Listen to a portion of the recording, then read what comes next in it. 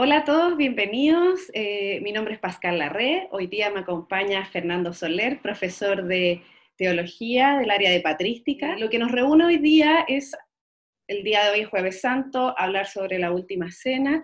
Eh, pero antes de eso, me gustaría saber cómo te ha tocado este tiempo de cuarentena, las clases, etcétera. ¿Cómo te ha tocado, Fernando? ¿Cómo, cómo estás tú y cómo te ha tocado?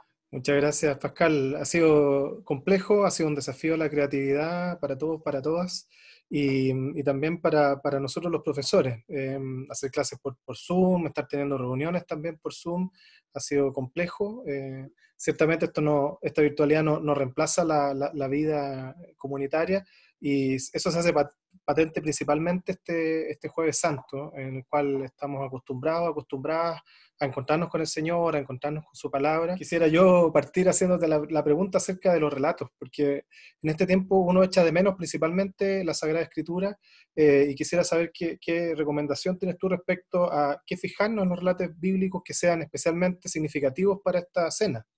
Sí, mira, yo creo que primero que todo, eh, invitar a la gente a que efectivamente no le tenga miedo acercarse a la Biblia, que se que la lea, que la relea, la relea en familia, es muy entretenido ver lo que cada uno saca, eh, y porque este es un relato fundamental, es la última vez que Jesús se reúne, probablemente antes de su muerte, con sus amigos, con los discípulos, entonces es un, es un relato importante, hay que ver entonces los detalles, ver los personajes, ver quiénes hablan, quiénes dicen algo, qué es lo que dice Jesús, las mismas personas se fijen en los detalles, en los dichos, eh, etcétera. Hay una cultura que no escribía mucho, entonces todo lo que salga en un relato es importante. Eh, dentro de todo esto, lo que sí es fundamental en los cuatro relatos, aunque el Juan cambia, cambia un poco, lo que es fundamental es que Jesús elige colocar en el centro de la vida cristiana una cena eh, con sus discípulos. ¿Qué crees tú que, que se puede sacar de eso?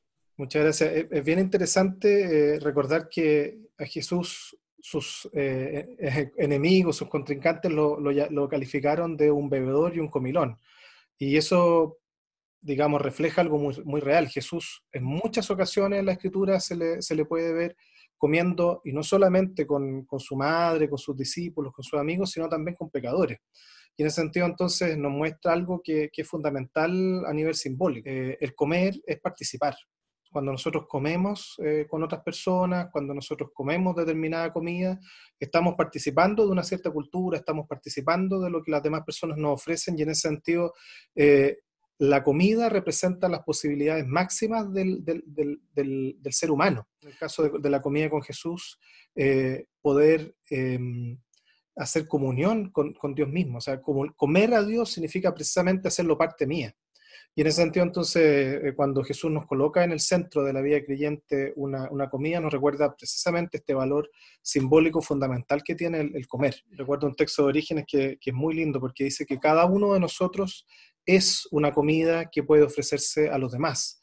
Y en ese sentido, entonces, la medida en que nosotros comemos con, con Jesús eh, en su última cena, eh, y comemos con sus discípulos de la última cena, nos hacemos parte de la vida divina, nos hacemos parte también de la vida de los demás. Dime lo que comes y te diré lo que eres, eh, diría yo. En ese sentido, ya que la vida, digamos, la comida en la, en la vida de Jesús, esta última cena es tan importante, ¿Qué sugerirías tú, digamos, para los que estamos viviendo la Semana Santa en casa? Sí, en este periodo yo creo que se coloca muy patente el hambre y la sed de Dios. Eh, mm. echamos de menos poder consumirlo sí. la Eucaristía, echamos de menos escuchar su palabra proclamada en, en, el contexto eh, litúrgico.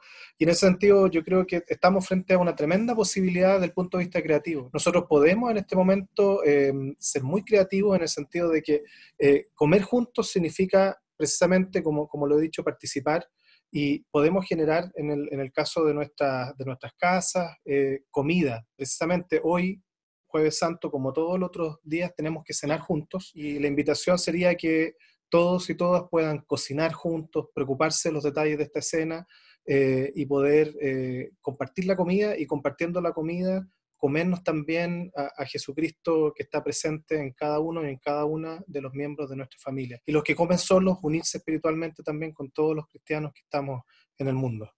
Excelente, entonces invitamos a todas las familias que preparen su cena de jueves santo, que compartan, que oren juntos. Vuelvo a presentarme, soy Pascal Larre, Fernando Soler, y espero que les vaya bien hoy. Chao, chao. Que estén bien. Chao.